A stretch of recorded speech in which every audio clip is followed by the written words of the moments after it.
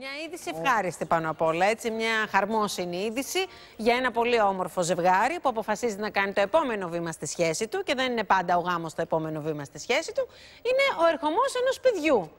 Α, ο Γιώργος Λιανός λοιπόν θα γίνει για τέταρτη φορά μπαμπάς. Μάλιστα. Ναι. Γι' αυτό και θα φύγει από.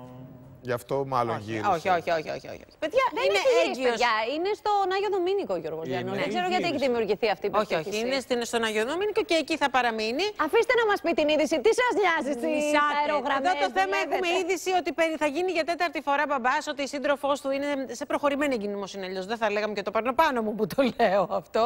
Είναι γεγονός ότι όταν μας το πες, εγώ ήμουν πολύ αρνητική γιατί λέω για να μην το έχει πει αυτός ανοιχτά. Μήπως δεν πρέπει να το πούμε, αλλά μου είπες ότι είναι στο τρίτο τρίμηνο. Ε, ναι, είναι προχωρημένη εγκυμοσύνη και είναι κάτι, παιδιά, που το, το, τα- το διαδίκτυο το αναρωτιέται και το έχει γράψει κιόλας. Δηλαδή, δεν λέμε, δεν ανακοινώνουμε κάτι το οποίο ε, είναι παντελώς Πώς βγαίνεις η κοπέλα, ρε άγνωστο. παιδιά, γιατί ήρθε ο άνθρωπος, λέει. Όχι, αγάπη μου, δεν έχει έρθει ο άνθρωπος. Ε, Τα παρουσίαζε καημό. και επεισόδιο. Αφού είναι βγήκε ο άλλος ο Τούρκος και είπε θα το κάνω εγώ.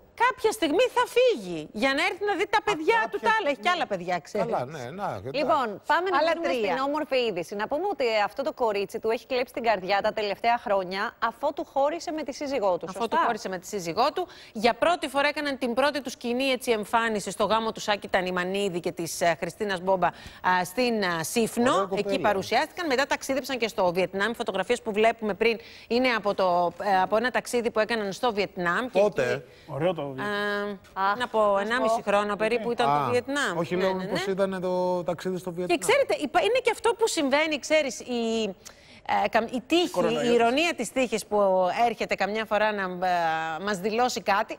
Άλλος δεν πήγε στο Survivor γιατί θα ήταν ε, λόγω Έγκυος εγκυμοσύνης και τελικά σε άλλον προέκυψε, έτσι. Ε, ναι, μάλλον Ε, το καλά, ήξερε. φαντάζομαι Ναι, για ναι, να είναι, εννοείται, παιδιά, λέμε, να ήταν είναι προχωρημένη. ετοιμόγενο το κορίτσι, προφανώς όταν αποδέχτηκε την πρόταση το ήξερε. Ναι, το ήξερε, πήγε.